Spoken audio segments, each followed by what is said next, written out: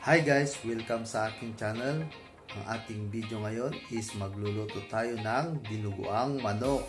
So guys, samahan niyo ako sa aking pagluluto.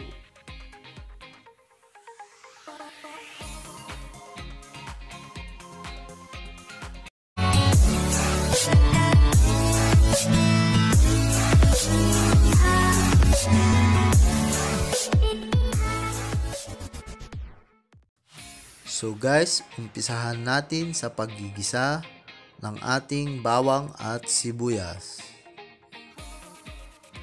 Guys, itong ating pinaglulutuan is yung pinagprituhan ko ng manok. Inuna ko na siyang prituhin para medyo lumambot para na rin madaling maluto. Haluin lang natin guys ang ating bawang sibuyas para hindi ito masunog.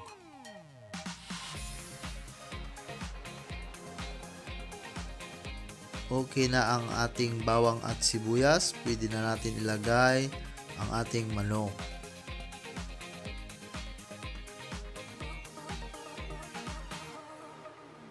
Pagkatapos nating ilagay ang ating manok, haluin lang natin siya guys para mag-mix ang ating bawang at sibuyas.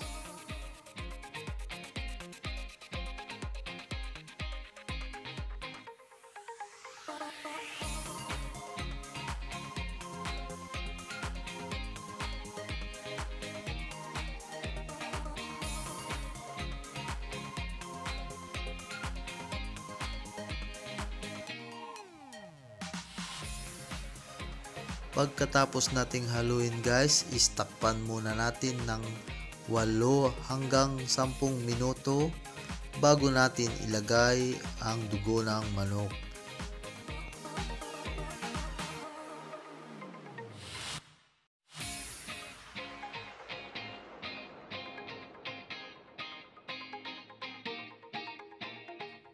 Pagkatapos nating ilagay ang dugo ng manok, haluin lang nating mabuti guys para dumikit ang dugo sa karni ng manok.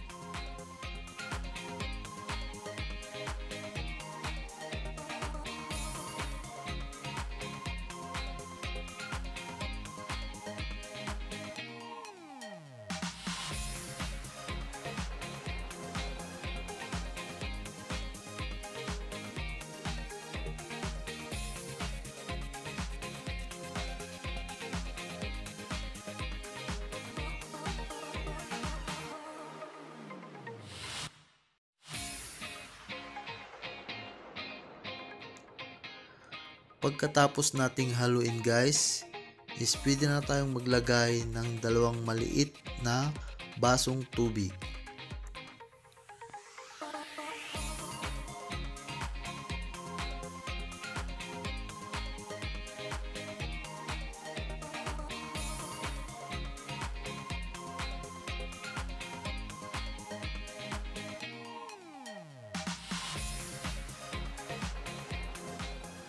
Magpatuloy lang sa ating pagluluto guys at takpan natin ng 10 hanggang 15 minuto. Pagkatapos ng 15 minuto guys, pwede na nating ilagay ang pampalasa ng ating dinuguang manok.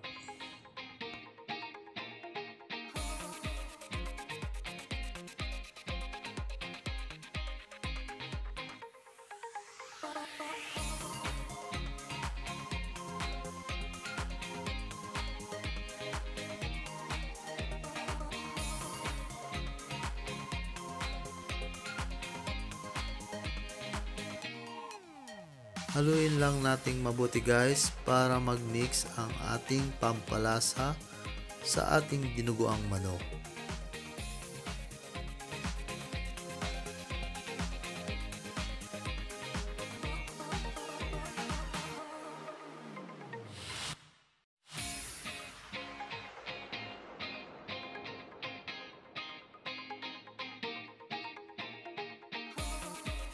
pagkatapos nating ilagay ang mga pampalasa ng ating binugan guys, istakpan ulit natin ng mga 5 minuto.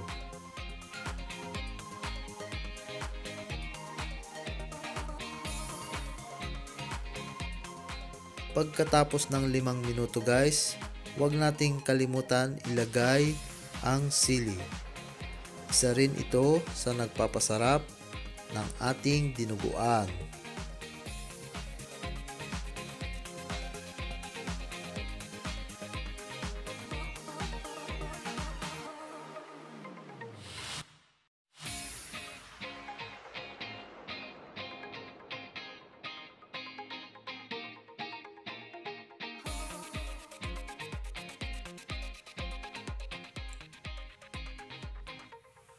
Takpan ulit natin ng mga limang minuto guys. Pagkatapos ng limang minuto guys, luto na ang ating dinuguang manok. Pwede na nating ihain sa ating hapag kainan. Kainan na!